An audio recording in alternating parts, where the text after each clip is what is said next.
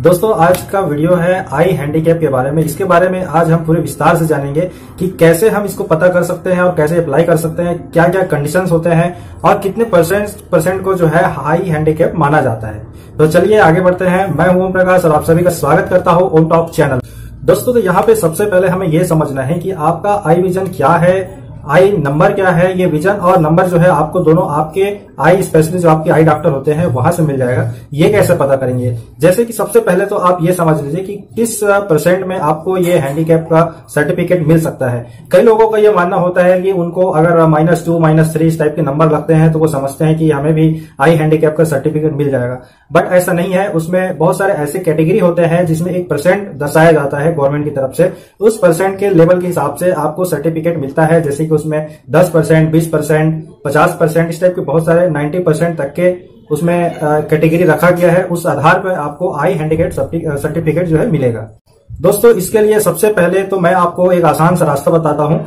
सबसे पहले तो ये करना है आपको कि आपको ये देखना है कि आपका पावर कितना है। यानी कि अगर आपका हल्का थोड़ा बहुत पावर है, यानी कि चार पाँच नंबर भी है तो आप ऐसी उम्मीद लगा के ना बैठिए कि आपको आई हैंडीकेप का सर्टिफिकेट मिलेगा। आप मेरा बात समझ रहे होंगे। आपको मैं कहना चाह रहा हूँ कि अगर आपकी जो दृष्टि है, वो बहुत ही ज़्यादा खराब है, यानी कि अगर आप चश्मा लगाकर भी six by six by eighteen या फिर सिक्स बाई ट्वेंटी फोर इस टाइप के विजन आपको क्लियर नहीं दिख दिखा है। चश्मा लगाने के साथ तब जाके आप थोड़ी उम्मीद कर सकते हैं। और चश्मा लगाने के बाद अगर आपको ये सब विजन दिख रहा है तो फिर आप आई हैंडीकैप सर्टिफिकेट के लिए अप्लाई नहीं कर सकते हैं।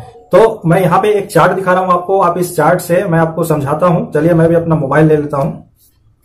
ओके एवरीवन तो इस चार्ट में आप सबसे पहले, सबसे नीचे आप देखिए, जहाँ पे लिखा हुआ है सिक्स बाई फाइव तो इसको आप छोड़ दीजिए, क्योंकि ये जो है बहुत ही एक अच्छा बेहतरीन विजन रहता है, इतना नहीं देखा जाता है। उसके ऊपर जो है सिक्स बाई सिक्स इस विजन को अगर आप किसी जॉब के लिए भी अप्लाई करते हैं तो इस विजन को अच्छा माना जाता है। ये भी बहुत ही अच्छा विजन कहलाता है। तो उसके ऊपर आप देखिए six by nine six by twelve और six by eighteen six by twenty four ठीक है? आपको ध्यान देना है सिक्स बाई नाइन यानी कि ट्वेंटी बाई थर्टी जहाँ से आपको दिखाई दे रहा है। वहाँ से लेकर सिक्स बाई एटीन यानी कि ट्वेंटी बाई सिक्सटी जो एरिया है, जो मतलब जो कैटेगरी है, उस कैटेगरी में आपको अगर चश्मा लगाने के बाद भी दिखाई दे रहा है या चश्मा लगाने के बाद नहीं भी दिखाई दे रहा है तो दोनों ही कंडीशन में आपको इसमें सर्टिफिकेट नहीं मिल सकता है। आपका पावर चाहे जो भी हो, क्योंकि इसके अंदर इतने ज़्यादा पावर नहीं आता है। इसमें वही तीन चार नंबर तक के ही इसमें आ जाता है इस कैटेगरी में तो उसमें आपको हैंडीकैप सर्टिफिकेट नहीं बनता है। नंबर आपको मिलेगा सबसे ऊपर, जैसे कि आप देख रहे हैं सबसे ऊपर आप देखेंगे तो आपको दिखाई देगा सिक्स बाय सिक्सटी यानी कि ट्वेंटी बाय टू हंड्रेड ये एक ऐसा विजन है जो अगर नहीं दिखाई दे रहा है तो इसमें एक चांस बनता है, क्योंकि इससे भी ऊपर होता है। मैं आपको बता देता हूँ कि ये ट्वेंटी बाई टू हंड्रेड लिखा है, वैसे ही ट्वेंटी बाई फोर हंड्रेड भी होता है। और उसके ऊपर और भी जाता है तो इस टाइप से बहुत सारे ऐसे कैटेगरी इसमें बना रखे हैं जो थोड़ी कंफ्यूजन है। इसलिए इसका सीधा सा एग्ज़ाम्पल है, आप अपने लोकल आई हॉस्पिटल में जाइए, वहाँ से डॉक्टर से अपना आई टेस्ट करवाइए और उनसे कहिए कि आप जो है मेरा आई विजन जो है वो मेरे कार्ड में दर्शा दीजिए कि मेरा आई विजन कितना है, चश्मा लगाने के साथ ही। अगर आपका जो आँख है वो काफ़ी खराब है, आपको दिखाई नहीं देता है, यानी कि अगर टार्च की लाइट भी आपको ठीक से दिखाई नहीं देता है, महसूस नहीं होता है बहुत अच्छे से तो एक कंडीशन वो होती है कि आपको सर्टिफिकेट मिल सकता है। जो मैंने बताया कि आप अपने आई स्पेशलिस्ट से बोल सकते हैं कि आपका नंबर जो है, आपका जो आँखों में जो नंबर आ रहा है, साथ ही विजन है, आपके कार्ड में दर्शा दे। वो दर्शाने के बाद आपको ये क्लियर हो जाएगा कि आपका पावर के साथ कितना विजन बन रहा है और बिना पावर के कितना विजन उसमें बन रहा है। ये सब आपको आपके डॉक्टर ही बताएँगे। अगर आपको लगता है कि डॉक्टर के द्वारा दिया गया पावर उसको लगाने के बाद, उस चश्मे को लगाने के बाद भी आप सिक्स बाय सिक्सटी यानी कि twenty by two hundred vision को नहीं देख पा रहे हैं। सीधा सार से बताता हूँ कि अगर आप 20 फीट की दूरी में किसी अपने फ्रेंड को खड़ा कर दीजिए और उनसे कही कि अपने पाँचों उंगलियाँ ऐसे आपको दिखाए। अगर आपने उसके पाँचों उंगलियों को देख लिया, हिला के भी या आगे पीछे करके भी बोलिए कि अगर आपने उसको पाँचों उंगली देख लिया तो फिर आपका सर्टिफिकेट नहीं बनेगा। ये एकदम सीधा और सरल तरीका है।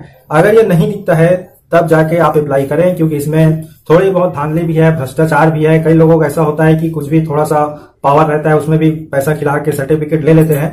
लेकिन जनरली जो है, हम यहाँ पे सीधी और साफ़ सुथरी बात करने वाले हैं कि आपको किस कंडीशन में सर्टिफिकेट मिलता है। अगर ये पाँच उंगली आपको बीस फीट से दिखाई नहीं दे रही है तो आप अप्लाई करें।